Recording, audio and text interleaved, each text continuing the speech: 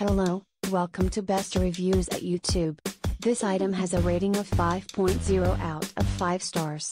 A customer wrote, I was really impressed with this Alexis Vogel eyeshadow blending brush.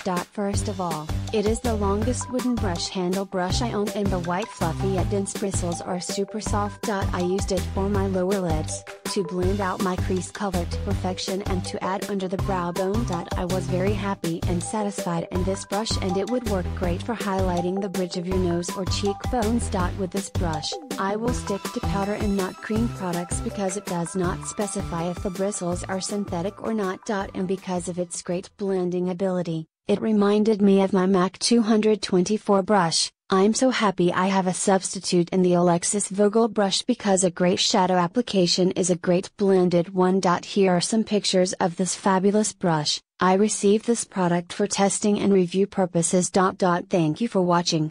Please give the thumbs up.